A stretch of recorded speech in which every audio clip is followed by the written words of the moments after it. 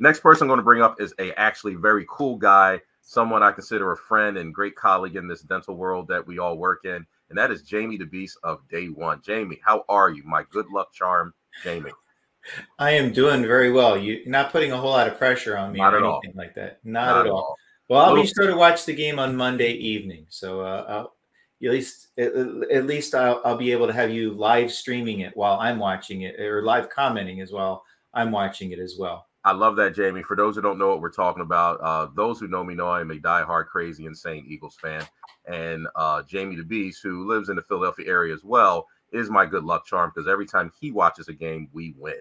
So obviously he watches a lot of games. So I want him to keep that up. So uh, no offense to my fans of other teams, but you know, we, we love our Eagles here. So Jamie, tell me, and, I, and I'm sure a lot of people by now know who you are. I know you've helped so many people in our group, but tell me about day one, what you do, why dentists love it, what you've been able to accomplish making dentists' lives either less stressful or more productive. So we're a dental marketing agency. We focus on creating a comprehensive marketing strategy uh, that's customized for each one of our dental clients. And depending upon that strategy and the types of ideal patients that they're looking for, it can include a website design, a website refresh, search engine optimization, Google Ads, social media management, uh, online listings, uh, responding to reviews. Uh, yep. We're even into designing collateral material for clients for internal marketing purposes. So it's it really starts with the strategy and the types of patients that they want to have most, and then from that we build out what types of services make the most sense for that particular practice. You know, one of the things that I like about you is that you have such a boutique approach um, to what you do, and you know, marketing is different for everyone. You know, there's so many factors that come into play into what type of marketing you need and what kind of marketing will be most effective for your particular business or your particular dental office and the time that it will take. Tell me something that you feel like dentists may be mistaken about when it comes to marketing that you've been able to help them with or educate them with um, since you've been working with dentists.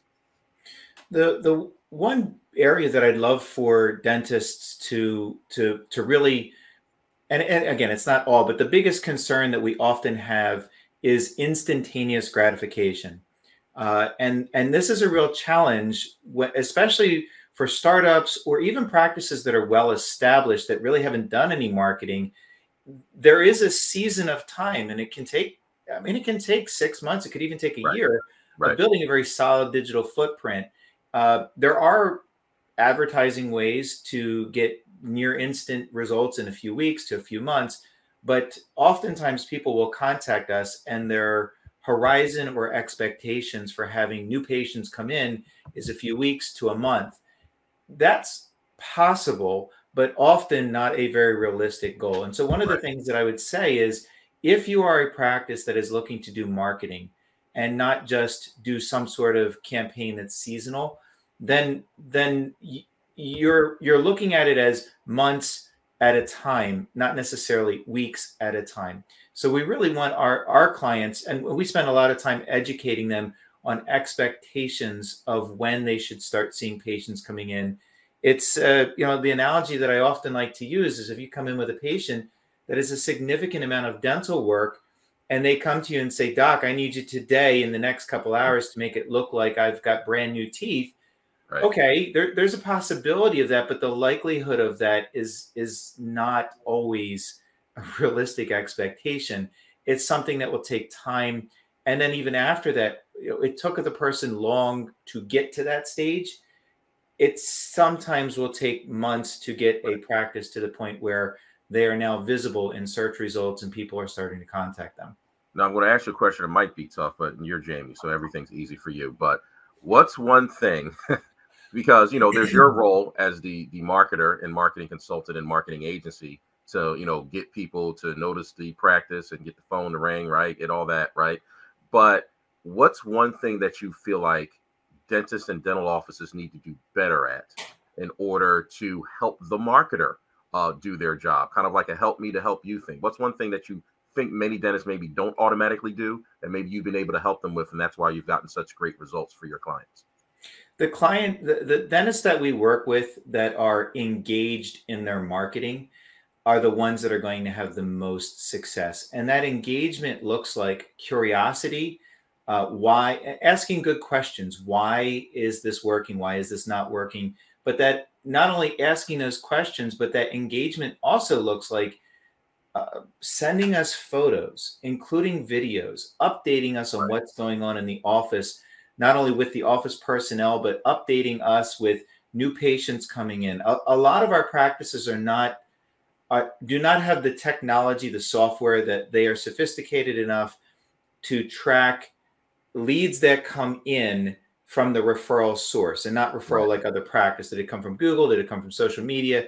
Even when they ask those questions, there's multi multi-factor touch points. You know, somebody can get a uh, get a referral from a friend, but they check the reviews out online. They want to see what the practice looks like. They call you from the website, but then when they come in and say, "Where'd you hear about us?" They'll say Google.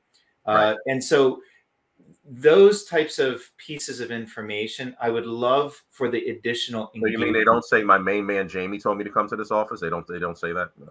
uh, you know, I haven't had too many people say that, but if that if that was a category, um, it probably wouldn't be a big, huge ROI. But the practices that are engaged uh, by reaching out to us and really viewing us as a genuine partner, have the most success because we get that feedback and then we can act upon that in, in, in, a, in a pretty quick fashion. Practices that just kind of hand off marketing to us, we don't hear from them.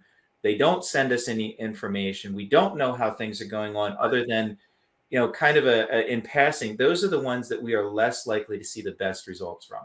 Got it. That's such a good point. I really appreciate you answering that that way. Everybody, we're talking to Jamie DiBease, the founder of Day One. To get more information about Day One and what they can do with Jamie and his team, or uh, please just text the word day one with the actual numeral numeral one. So that's D A Y one to 215 543 6454. Once again, the Dental Nachos team is putting information like this in the chat about reaching out to Jamie. Jamie, before I let you go, what's one piece of advice that you'd like to give the audience or one thing they could do today to help themselves out? And, and how do they reach you?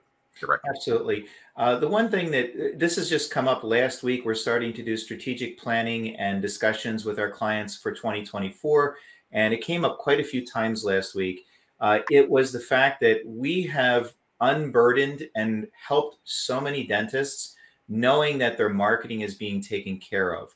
Uh, it has freed them up to do so many other things. So, the one thing I would say is if marketing is a burden for you, takes up a lot of your time, I'd be happy to talk with you about it. The best way to reach out to us is to schedule an initial consultation at my website. It's dentalmarketingfromday1.com. Uh, .com, and then you can reach out to me. Those scheduling appointments come directly to me. Awesome, Jamie. Always a pleasure. Be, uh, I'll be, I'll be, I'll be contacting you probably Monday before the game starts to make sure you're in position uh, to do your job for that there. But uh, so great having you on Talking Nachos as always. Talk to you Appreciate it. Thanks.